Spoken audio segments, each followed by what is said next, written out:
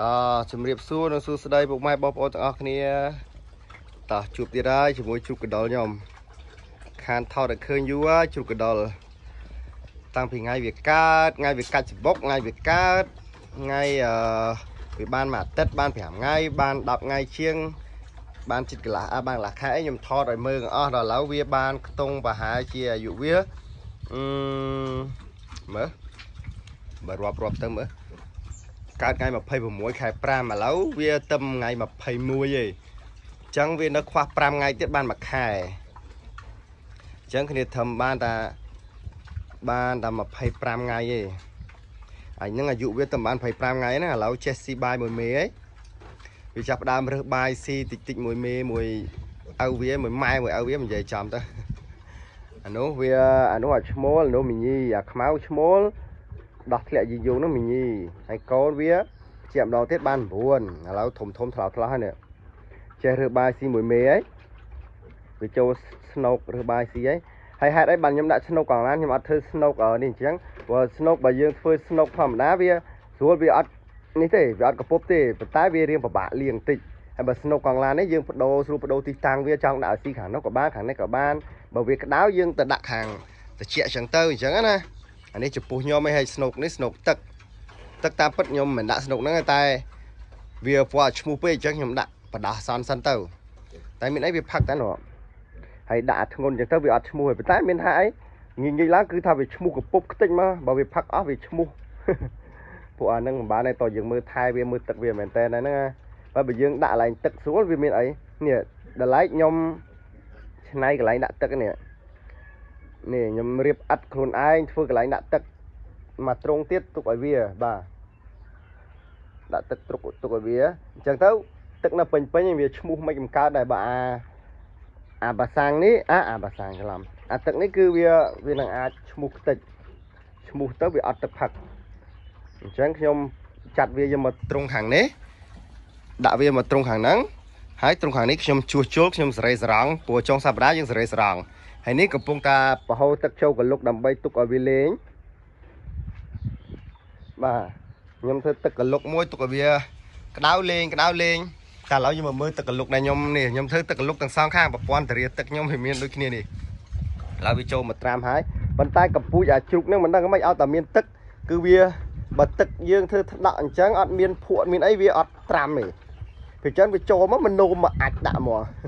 អត់យល់ បើទឹកនៅទឹកនៅខាងក្រៅអញ្ចេះមានទឹកភក់ទឹកអីដូចទឹកភក់អីអញ្ចឹងវាចូលទៅលេងចូលទៅត្រាំហើយប៉ុន្តែ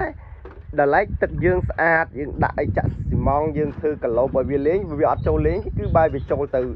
អាចទៅនោមវិញអត់យល់អាណាបើមិនវាអាចនោមចាំបោះកើតទៀតសំខាន់ឲ្យវាមានទឹកគេឲ្យវាត្រាំលេងហើយដល់ពេលនេះអាសតែនេះតាមមុនខ្ញុំដាក់ទឹកអាហ្នឹងតែដល់ពេលដាក់អត់ទប់អត់ជាប់ទេតែពេលវាផឹកមុំមុំវាឈ្មោះកពុកខ្ទេចអញ្ចឹងហើយបាន ដូរមកដាក់កង់ឡាននេះរៀងធ្ងន់បន្តិចបាទនេះការចិញ្ចឹមជ្រូករបៀបលក្ខណៈធម្មជាតិធម្មជាតិបាទសាមញ្ញសាមញ្ញហើយចំណែកឲ្យរបស់ខ្ញុំឲ្យស៊ីវិញគឺថាបាយយើងបាយកកបាយសល់តិចតួចទៅហើយបាយសល់យកពីកន្លែងហាងបងអញ្ចឹងទៅលាយជាមួយកតក់ទៅអត់មានប្រើចំណីប្រើអីតែតែបន្តិចអត់ផងគឺប្រើសុតហ្មងគឺបាយជាមួយកតក់សុតហ្មង អញ្ចឹងគឺធម្មជាតិពិតពិតវាចាំឲ្យពាក់កដាលធម្មជាតិដែរព្រោះខ្ញុំដាក់ដីព្រោះអាជ្រូកនឹងវាត្រូវការឈ្មោះដីអញ្ចឹងណាអញ្ចឹងខ្ញុំចាក់សាពីក្រោមទុកកុំឲ្យវាឈ្មោះទៅគហិងក្នុងដល់ក្រោមហើយខ្ញុំចាក់ដីពីលើខ្ញុំដាក់ដីឲ្យវាលេងនេះដីគៀនគោលព្រីងហើយបកគោលព្រីងនេះវិញអាឈ្មោះឈ្មោះឡើងខ្ទេចមិនមែនថាឈ្មោះគឺវាស៊ីកកេអត់យល់កកេគល់ព្រីងឡើងអស់ពេលកដាលអ្វីប្រហែលជាវាឆ្ងាញ់វាគិតថាជា ប្រហែលជាគិតថាឆ្នាំចត់ចត់វិញវិញអានេះអាលោកកកេកកេឡើងខ្ទេចកកេកេចឹងឥឡូវមកនាំគ្នាមកលេងទឹកហើយដាក់ទឹកតិចតិចចឹងទៅឲ្យវាឆ្ងល់វាក្តៅក្តៅវាមកលេងទឹក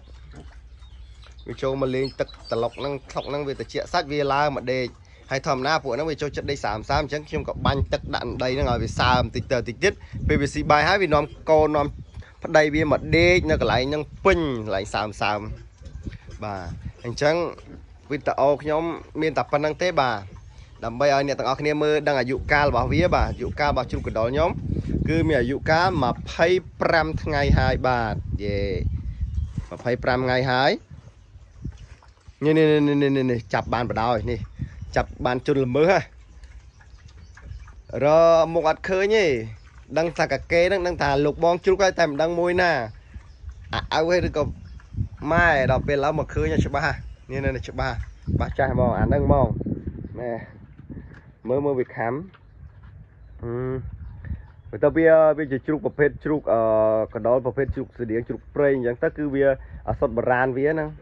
វាស៊ីដល់ស៊ីស្អីវានឹងឆ្ងាញ់អីយ៉ាងណាវាខំស៊ីចប់ចប់ឲ្យសលេងចប់ចប់មើលទៅឡើងតំណងទៀតណា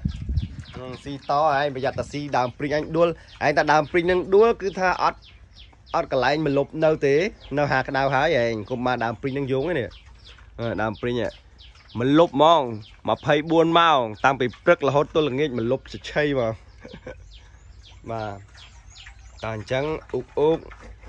បាយបាយហងបាយបាយហងអ៊ុកអ៊ុកនឹងអញ្ចឹងកូនកូននេះបន្លែគ្នា